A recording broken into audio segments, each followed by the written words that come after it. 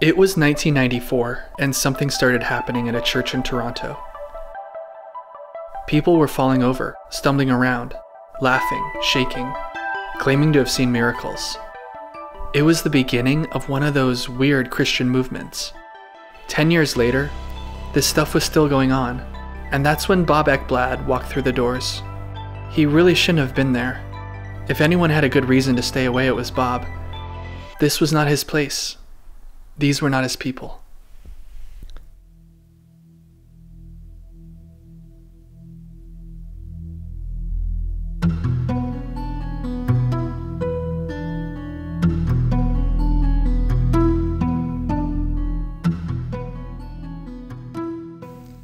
So yeah, I grew up um, in an evangelical home. You know, um, went to a private Christian school first through seventh grade. Steeped in sort of a God and country, you know, God and the Republican Party family. Then, age 13, my parents couldn't afford to have me in the private school. Transferred into a public school and new church full of a lot of kids that were like jocks, like starting lineup basketball players, football players. They didn't have the time of day for me. I, I felt really on the outside, really excluded. The kids that embraced me were all the kids that were the druggies. So that created a paradigm shift because uh, the people that were supposed to be the them were just amazingly hospitable and wonderful people who I was drawn to. And the us, so to speak, were excluders, and I felt completely rejected and was. It was a period of disillusionment that led me to many years of, of just being outside the church and kind of working out my my own personal faith, but in the mountains, you know, climbing in the North Cascades, in Yosemite, in the Alps. That led to and a decision to travel through Europe, where I heard a guy give a bunch of lectures on liberation theology that were just super passionate, and I felt called to go on this journey through Latin America and letting myself be affected by the context of oppression and poverty ended up in Guatemala in the midst of a full on civil war.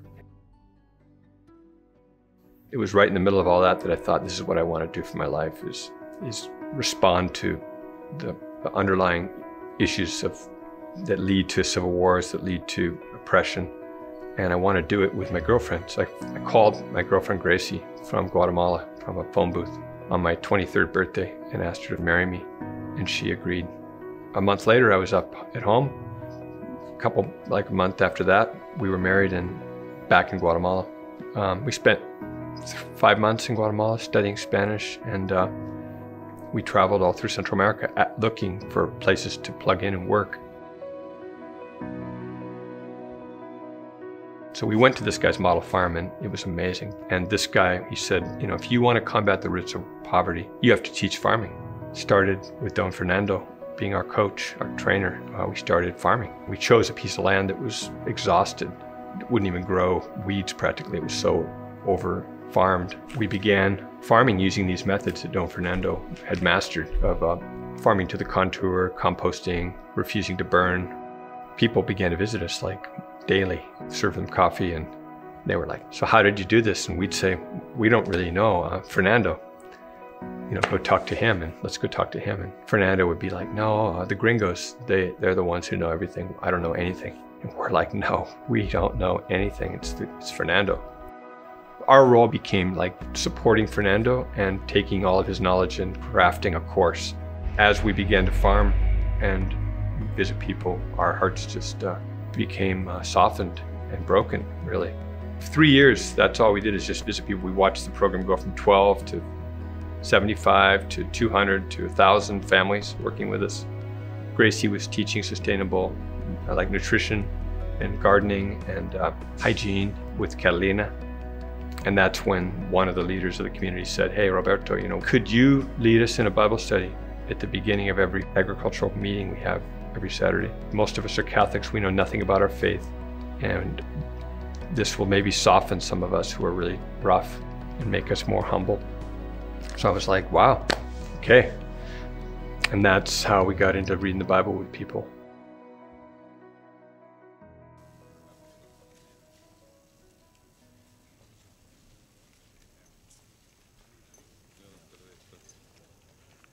Shall go first here. It's been a privilege to have President Suazo of the Honduras, a friend of the United States and a friend of democracy here for a visit. We've had very useful discussions during which both of us expressed our satisfaction with the positive relationship that our two countries enjoy. The U.S. was doing covert activity activities, you know, funding death squads, supporting death squad activity where they were targeting activists, including Christian workers. And uh, I mean, there were thousands and thousands of people that lost their lives in Guatemala, El Salvador, Honduras. We were hearing all kinds of stuff. And Gracie and I would spend a month of every year, um, three weeks back in the United States. We'd go to Washington, D.C. We were speaking out against what the U.S. was doing in Central America.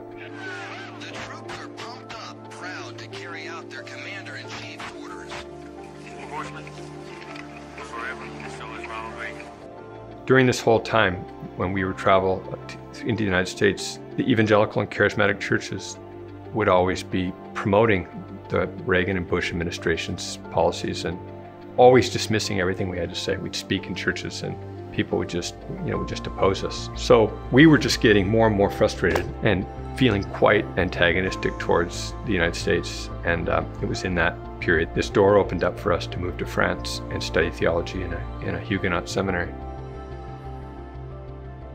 and uh, were just welcomed with, you know, just treated so nicely by these French Huguenots. And it was uh, there where um, Gracie and I both felt called into the church. We'd been outside the church pretty much doing all this with people outside the church.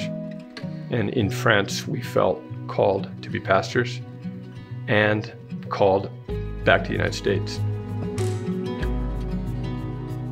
We were aware that, that the Skagit Valley had a huge immigrant population.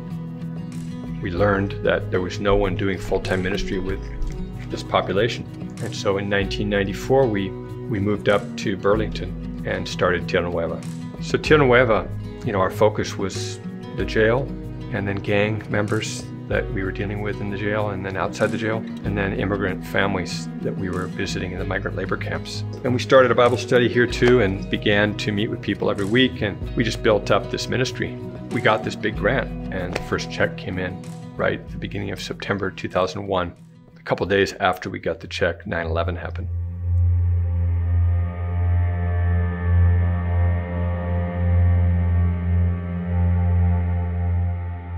this was just a, a devastating impact, you know, on our on our ministry. I mean, as soon as 9/11 happened, what we noticed is this flags everywhere, sentiment of fear, uh, of nationalism, and this attitude of fear towards immigrants. We had a lot of people that just uh, stopped supporting us. Around the same time, methamphetamines were hitting our county, and a lot of young people and a lot of our people we knew were just being uh, caught up in in addiction to meth and people just coming in looking like skeletons and losing their teeth and it was just like oh man this is a scourge but it felt like our gospel was not really impacting that uh, that scourge and so around that time gracie and i just went through a period of just soul searching that lasted for a couple years where we were just like increasingly desperate like we'd read the stories of jesus healing the sick and driving out demons and and just healing everyone of every kind of affliction. And Jesus was putting us in crisis. Like, like Jesus, yes, you know, so beautiful what you did, but like, what's up with us? Why don't we see the breakthroughs that we see in the Gospels, like here in Skagit County? Like, we want to see it.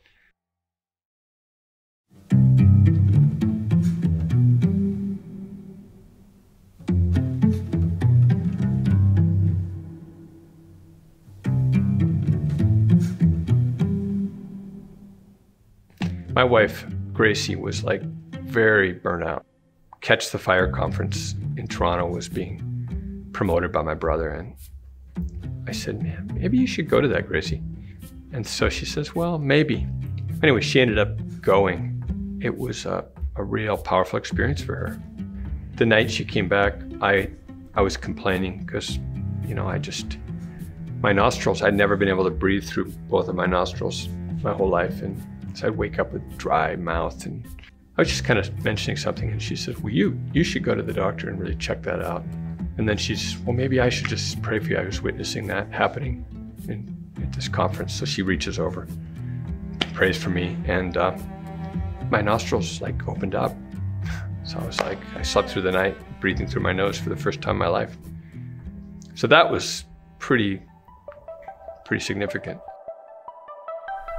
So here Bob is, on an airplane, headed to the charismatic revival movement known as the Toronto Blessing or Catch the Fire.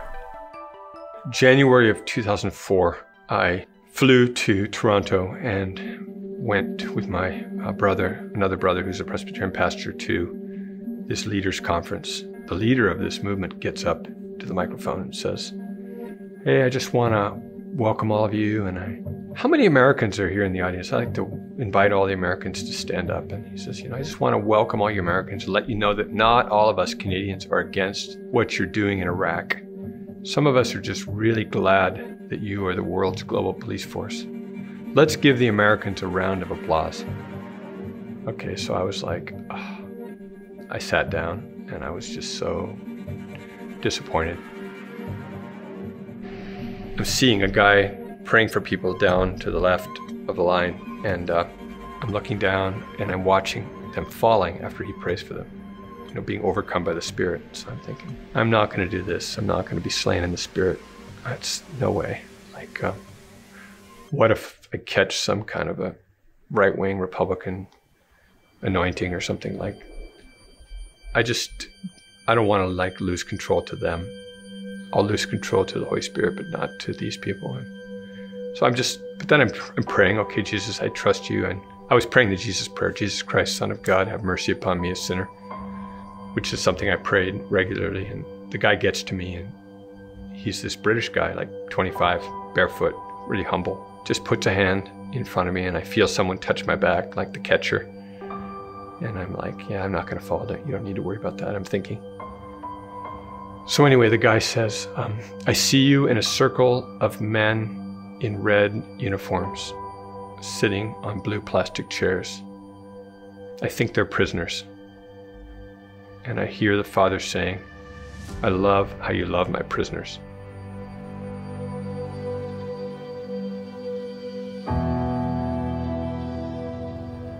And I was like, whoa, okay. Like that's who I read the Bible with people in red jail fatigues, sitting on blue plastic chairs in the multipurpose room of our jail. That's what I did week after week after week.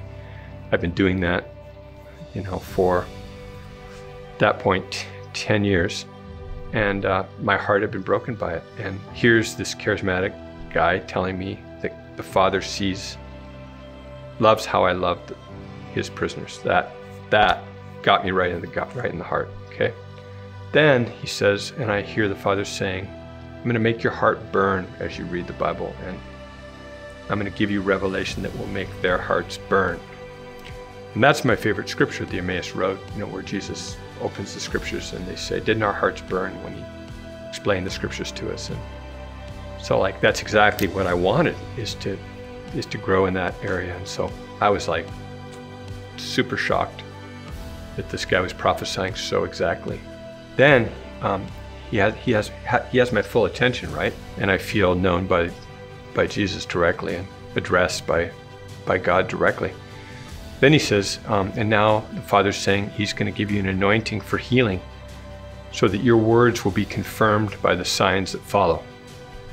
As soon as he said that, I just remember thinking, no! But it was too late. I was falling. And I lay on my back on the ground um, with my hands just on fire, feeling like they were just like burning that next day I flew home thinking, okay, I uh, wow, I've had this experience. I wonder what's going to happen, how it's going to, you know, how I'm going to just adjust to my life back at Tierra Nueva. I remember coming home and my head was still like, felt like I had like warm oil covering my forehead. Came home and I just felt like my whole heart had just been tenderized. Like I went over to my dad's house and just asked him to forgive me for holding resentment and told him how much I loved him. And, and I began to experience like every night uh, feeling God's presence just washing over me like big waves. Wake up in the middle of the night, just shaking. And so I had to pay attention to this, what was happening to me, and I didn't know what to do with it. In the jail, um, well, I had a whole room full of guys, like white guys who were kind of One of them was a real neo-Nazi guy, big, tall, six foot seven, heroin, ex-heroin meth user, guy named Zach, and like half the room, like seven or eight, nine guys, were all Latino gangster gang members. And I had done a Bible study about discrimination. And at the end of it, I said, How should we respond? And Zach had said, We got to pray for, for Fabiano, that God would heal his effing liver. Fabiano had been crying every night because of cirrhosis of the liver and all this pain. And, and I was like, Fabiano, do you, do you need prayer? I mean, do you want prayer? And he, he was a really humble guy. He nodded. And I knew Zach had a liver problem because his hands were swollen like twice their normal size. And so I said, Well, Zach, um, if we're going to pray for Fabiano, maybe we should just include you too and pray for you. And he was like, No, you know, I'm just a selfish guy. I just think we should focus on him. And I said, Okay, but let's pray for you too. So he let me, we prayed for both guys. And I I never prayed for anything like that. I put a hand where I thought their livers were, and I just said, Jesus, I just asked for you to touch these guys. And come back a week later, and their symptoms had disappeared. You know, they they'd been pain free, and so that was like really powerful. Like to see that in such a humble way, and I began praying for people and just seeing God heal people on a weekly basis in the jail. And then people would want to give their lives over to Jesus, like in response. And I wasn't used to really signing people up, like getting them saved, so to speak. Like all that language was, but they were, all the people were wanting that. So I began to pray more deliberately with people, invite, you know, in response to their requests. In our ministry, God is doing a work where word, you know, the scriptures, reading the scriptures for good news uh, at the margins, you know, for the poor, spirit, you know, the gifts of the Holy Spirit, the, the baptism of the Holy Spirit, the moving in the power of the Holy Spirit, and street or you know justice advocacy peacemaking confronting the powers standing with the, the downtrodden. Those three pieces we feel called to really champion uh, together in a united way like and we see that the places of deepest brokenness and marginalization everywhere in the world require a united body of Christ and and so we're we feel called to a ministry of reconciliation and there's a need for repentance on lots of fronts. Like we need to repent of all of our judgments, harsh judgments against evangelicals and charismatics. And churches that endorse the status quo need to you need to repent of that and be about Jesus and the kingdom of God. And so without that happening, you know, we're going to just see increasing division and uh, and ineffective ministry because uh, the body of Christ in North America isn't going to be trusted around the world. And, and without that, people aren't going to have the tools and the, uh, the mindset and the, you know, the anointing that they need to be able to see the chains broken off of people and the captives being set free.